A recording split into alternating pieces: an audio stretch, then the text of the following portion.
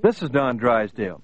The Olympic Games are the finest competition among athletes in the world, and part of the reason for the continuing success of the Olympics has been the ability of the steering committee to add new sports when they become popular and drop old ones that people aren't interested in any longer. Today I'll tell you about a couple of races that were dropped and for good reasons.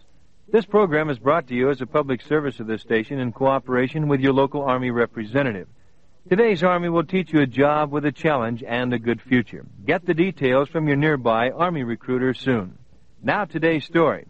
There have been millions of interesting sports stories to originate at the Olympic Games. Great champions have been recognized and crowned there, and breathtaking competition is what people have come to expect.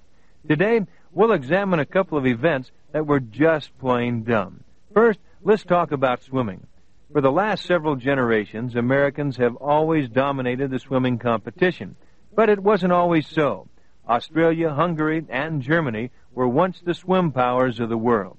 And Australia's first swimming champion was Freddie Lane, who won a gold medal in the 1900 Paris Olympics in the 200 meter freestyle. Today, we're not concerned with Lane's first medal, but his second one, because he won it in a race that was staged for the first time in Paris in 1900 and then was never run again. It was called the 200 meter obstacle race. The program called it hurdle swimming, and that's just what it was. Every 50 meters, a swimmer would encounter several barrels floating in the water on their sides. Both ends had been removed, and the idea was to crawl through the obstacle and resume swimming until you came to the next one. Speed in crawling through the water-filled barrels was what counted. Lane was only five feet tall and weighed 120 pounds, so he slipped through much more quickly than any of his competitors. And in a moment, I'll tell you about an Olympic race that was even sillier. First, let's get serious about today's Army. You know, it takes a lot of things working together to make a champion. Dedication, natural ability, intense training. Well, today's Army offers you the training you want, guaranteed before you enlist. Put this with your dedication and talent and come out a winner in the race of life. See your Army representative and join the people who've joined the Army. Now back to our story, the story of fun and frolic at the Olympic Games. Just about everything has happened at the Olympics that you could ever imagine. Bravery, failure, suspense, and high camp comedy.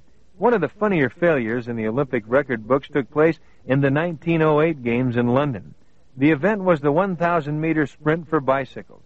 The British had built a brand new bike track, an oval 660 yards long. It was paved with bricks, and it was a beautiful sight to see, but it wasn't much fun to ride on. Obviously, the men who built it had never been on bicycles in their lives, because although the track looked great, the bumpy texture of the rough bricks threatened to tear a bike apart when it built up speed.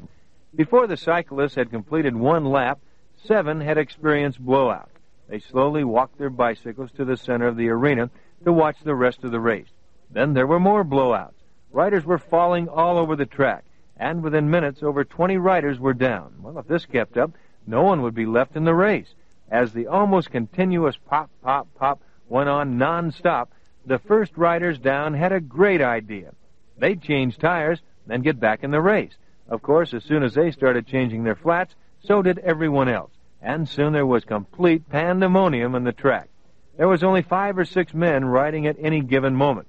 The rest of them were strewn all over the arena, changing tubes and inflating tires. As soon as the repairs were finished, they jumped back on their bikes and pedal away, only to have another flat a few minutes later. And finally, after an hour of desperation, they finally gave up. The race was called off. No winner was announced. It was one of the funniest flubs that ever befell an Olympic competition. A rotten track that prevented everyone from finishing. And this is Don Drysdale, and you're sure to finish a winner if you join the people who've joined the Army. Until next time, so long, everyone.